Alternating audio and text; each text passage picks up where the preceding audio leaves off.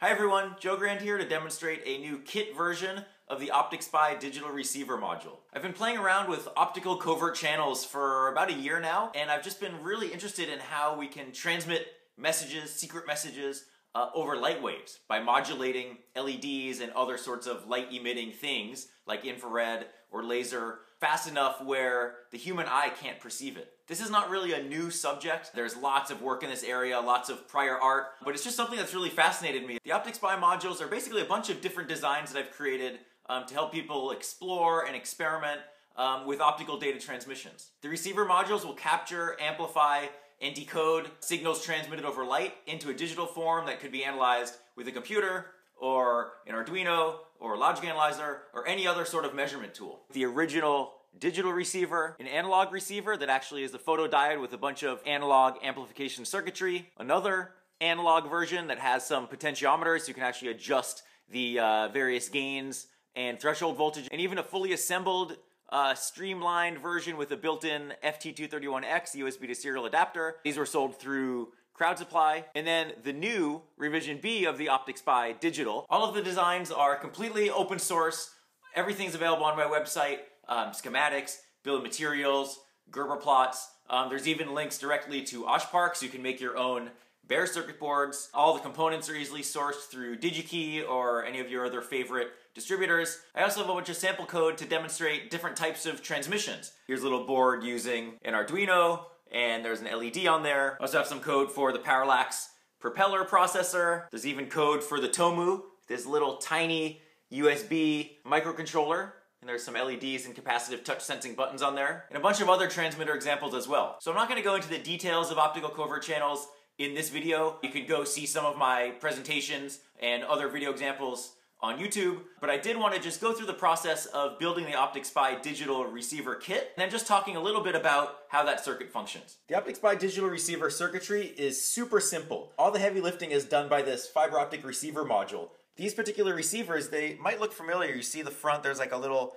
door where a fiber optic cable goes into them, and these are actually used on lots of audio equipment uh, for Toslink interfaces, Dolby AC3 digital audio interface, digital optical data link. Cool thing about this is it's actually designed to work with NRZ encoded data, non-return to zero, which is uh, the standard encoding method used for asynchronous data transmissions through a UART interface on a computer or through a microcontroller. So it's super easy to create transmission circuitry by just essentially doing a printf to an I/O pin to control a light or to control a laser diode module or whatever it is that you want to transmit without lots of software overhead. There's really no secrets here. Just using the product as is to decode our signal back into a logic level data stream. The circuit is powered through a USB to serial adapter. I'm using the Adafruit FTDI Friend. Down here we have a very simple low dropout linear regulator. So that's taking the 5 volts from the USB line, bringing that down to 3 volts, which is the nominal operating voltage for the receiver. Have a little power indicator over here. So green light will turn on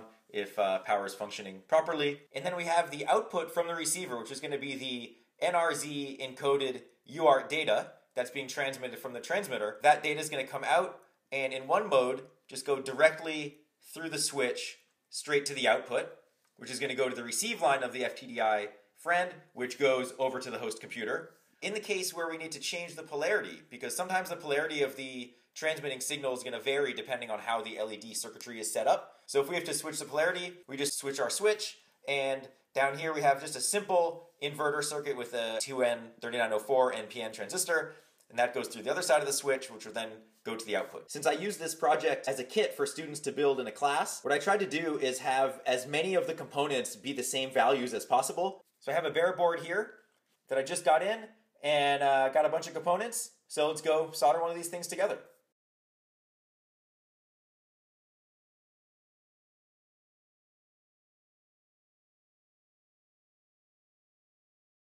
Our OpticSpy digital revision B is fully assembled. Let's go test it out.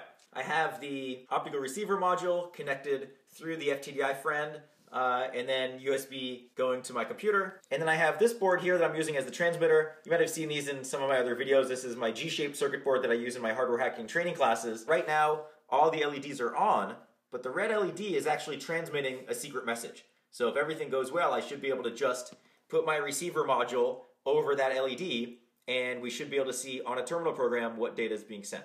Here we go, put that in there, little door. Normally the optical cable goes in there, but we'll just shove the LED in instead. And we actually see the green light on the FTDI friend turning on. That means it's receiving data. See, I can take it out, put it in. All right, so let's hold this here and then take a look at the terminal program.